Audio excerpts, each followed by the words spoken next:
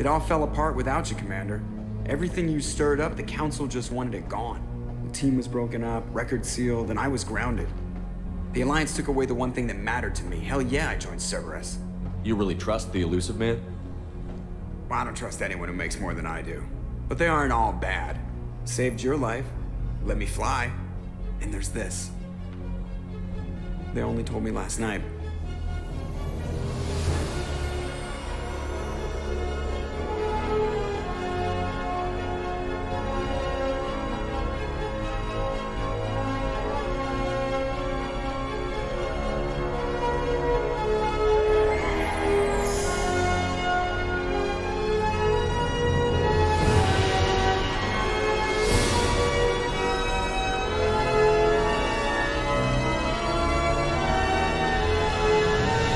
Good to be home, huh, Commander?